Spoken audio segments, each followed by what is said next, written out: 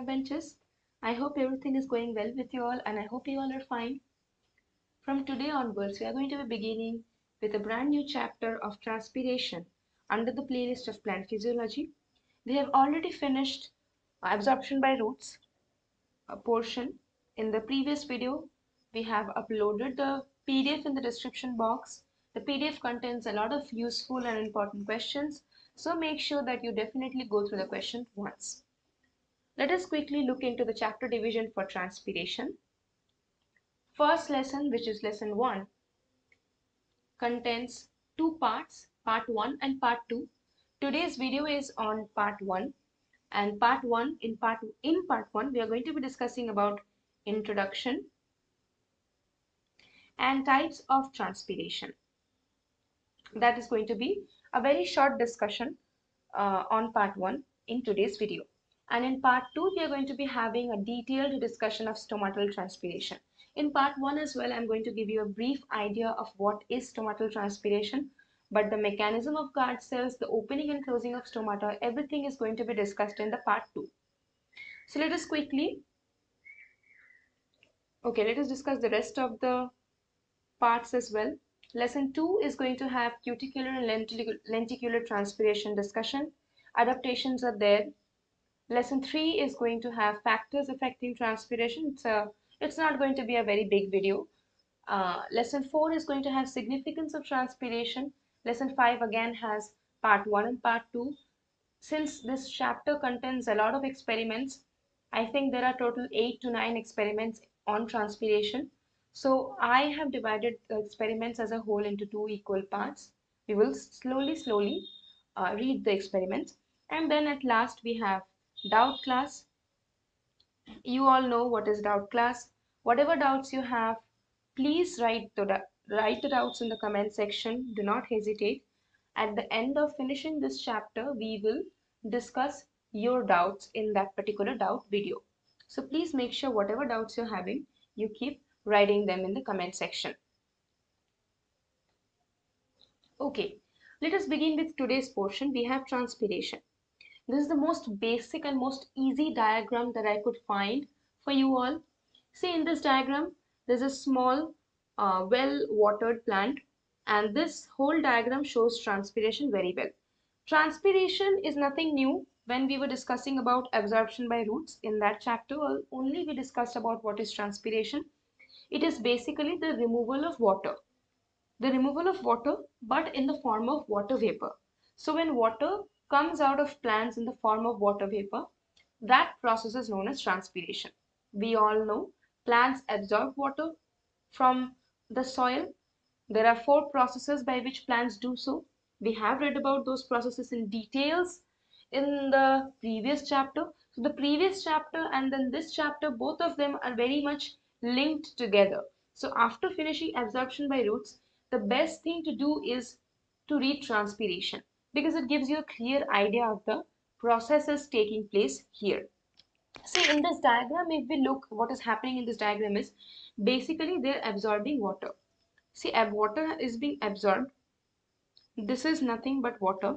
Okay I'll change the ink color. This is water basically and water is being absorbed by plants with the help of root hairs and roots. See they're absorbing water but when water is coming out of the leaves water is coming out from the leaves then it is coming out in the form of water vapor. This form is of water vapor. It is not in the form of water. So this is the form of uh, so when water is so water is absorbed by plants we can see it is a daily process happening and plants absorb water also water is also lost from the plants. Now when water is lost from the plants it is lost in the form of water vapor. Or we can say steam water vapor or steam through the leaves. Leaves have some tiny pores in them which are known as stomata. Through the stomata these things these uh, transpiration takes place. We are going to read about that in details. You need not worry about that. I'm going to discuss every single details regarding every single chapter in my videos. So do not worry. Okay. Now we if we have to look into the definition of transpiration let us have a look into that. What does the definition say? Uh, the definition says that the method by which plants lose water in the form of water vapor or steam from the aerial parts of the plants is known as transpiration here's a Here's a new term in this particular definition which is aerial parts. So rest of the definition I have said everything. I've said everything is same. The only different thing in this definition is the aerial parts. Now what do you mean by aerial parts? Aerial parts basically refers to the structures of the plant above the ground. Above the ground whatever we can see in a plant those are referred to as the aerial structure. For example, in this diagram, we can see leaves. Leaves are the aerial structures. Then we can see stem. Stem is the aerial structure. There is no fruit, but if there was a fruit, then the fruit would have been referred to as aerial structure. Then if the fruit had seeds, some plants, if you see, some plants have seeds only. So seeds are also considered as aerial structure. Inside the leaf, these things these things are also aerial structures. So any part of the plant which is above the ground, which is above the ground, constitutes aerial parts of the plant. I've already discussed. So basically we will consider in this diagram the aerial part to be the leaf. This leaf eh, we are going to consider as the aerial part. Because it is above the ground, definitely because it is above the ground. So this definition also says that the method by which plants lose water in the form of water vapor or stem or steam from the aerial, from the aerial parts of the plants is known as transpiration. Now here's a slight mistake in this word. This was supposed to be from. Let me just write from here. Okay, so the method by which plants lose water in the form of water vapor or steam from the aerial parts of the plants is known as transpiration. But the only requirement of transpiration is the water is only lost in the form of water vapor.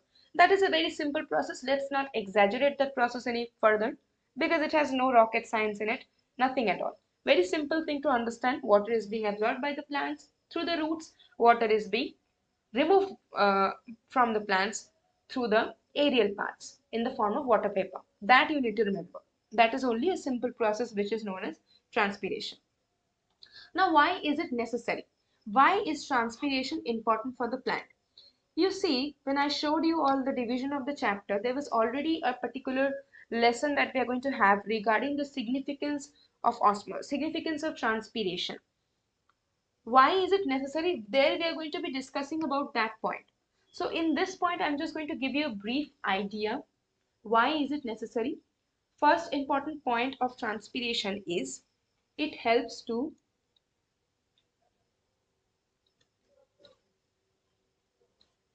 it helps to cool the plant body.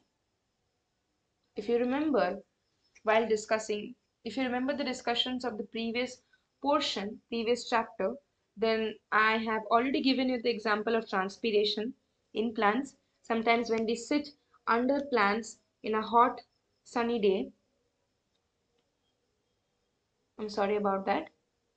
Okay, sometimes when we sit under plants in a hot sunny day, we feel cool. That is because of transpiration is taking place. So it helps to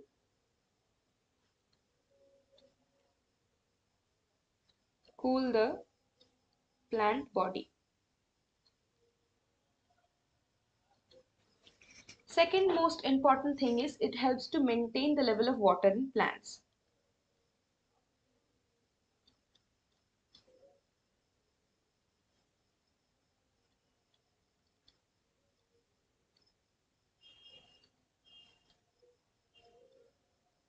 level of water in plants. That is what uh, that is the necessity of transpiration in plants. We are going to be discussing about this point details further in the further portions of the chapter. Now let us look uh, look into the types of transpiration. Basically, there are three types of transpiration. First type is stomatal transpiration. Second type is cuticular transpiration. Third type is lenticular transpiration. Lenticular, lenticular, whatever you like to call it. I pre prefer calling it lenticular transpiration. In today's video, we are going to be having a clear idea of stomatal transpiration, that what is this thing. And then in the part 2, we are going to be discussing about the uh, mechanism of the guard cells. Let us discuss about stomatal transpiration. Okay, this is the diagram of stomata. Let me write at the top. This whole uh, apparatus, this whole structure is called stomata. Okay, let me not write it here because I think the labelings I have to mention, I'll write this word later. First, let us look into the structure of stomata. First, let us name the parts one by one. This whole thing is stomata. These two arrows are indicating the two guard cells. These two arrows are indicating the guard cells. This opening, this opening is indicate, this opening is called stoma. The opening of the stomata is called stoma.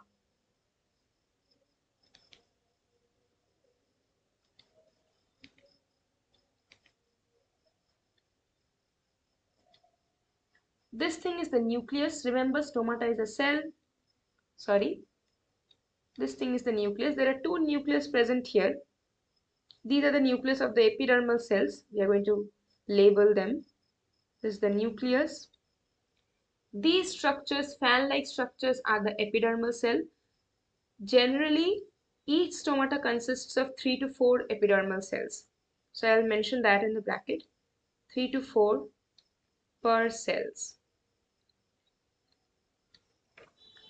This thing, I will label it here. This thing is the inner thick corner, inner thick wall of the guard cell, of the guard cell. This thing is the vacuole, obviously. And this thing is the outer thin layer, outer thin wall of the guard cell. These things are chloroplast.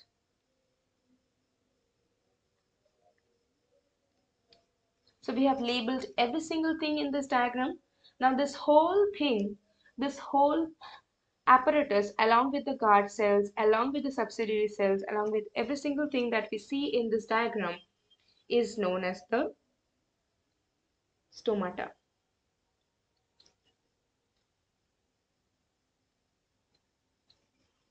So this whole thing is known as the stomata.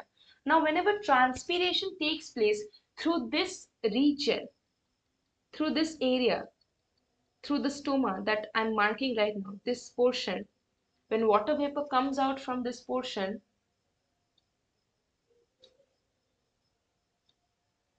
that type of transpiration is known as stomatal transpiration. Very simple, normal transpiration so you all have a clear idea of now what is normal transpiration. Now whenever that transpiration takes place through stomatal openings that type of transpiration is then known as stomatal transpiration. Very simple thing to understand. Let us quickly have a look. See in this way water vapor is coming out. So i will write it here. Water vapor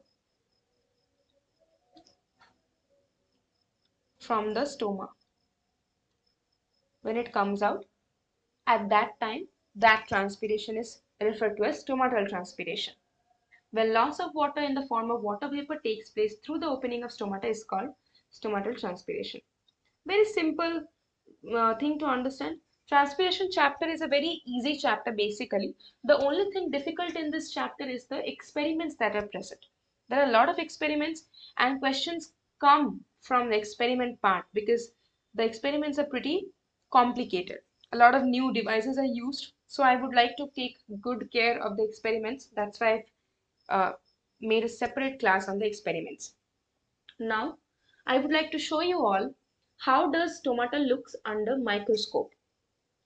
these two views are the view of stomata under microscope.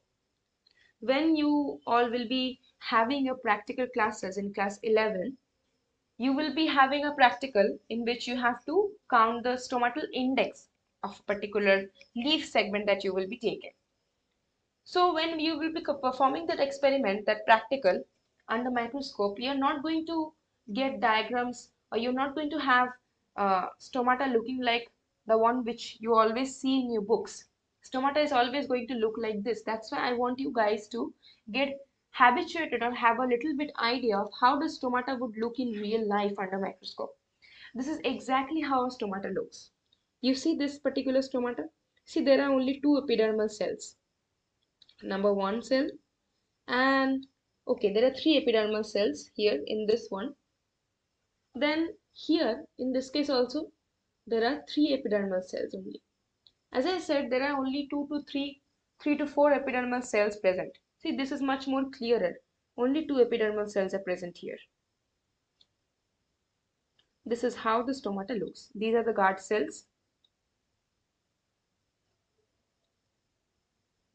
This is the opening, which is known as the stoma. And then these are the subsidiary, subsidiary epidermal cells. Another name of epidermal cells is subsidiary cells. Do not forget that name because both of the name have the same importance.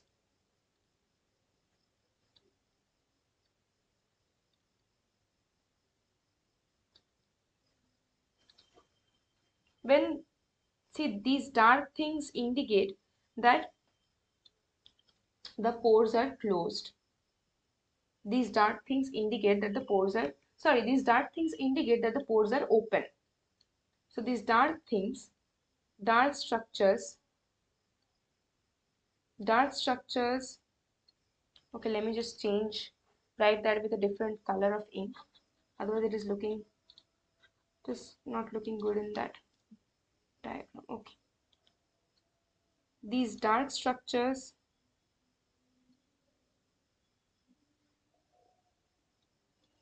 indicate. Open stomata. You don't have to take much stress about these two diagrams. I just showed you all because i thought that it would be easier for you or it will be much fun for you to see what actual stomata looks like under microscope. And just one more year to go. You will be having all these things when you will moving to class 11 you'll have practical classes there that was all about today's video. It was a small video very simple things that we discussed today. Nothing hard you all know. These things it's just normal common sense type of topics. I hope it was a fun session for you all. We will just end our session today. Make sure you subscribe to this channel and share this video with your fellow backbenchers if you have found out this to be useful. Also, Please like and comment your doubts and stay tuned for the upcoming portions. Till then, stay happy, stay safe, take care, peace.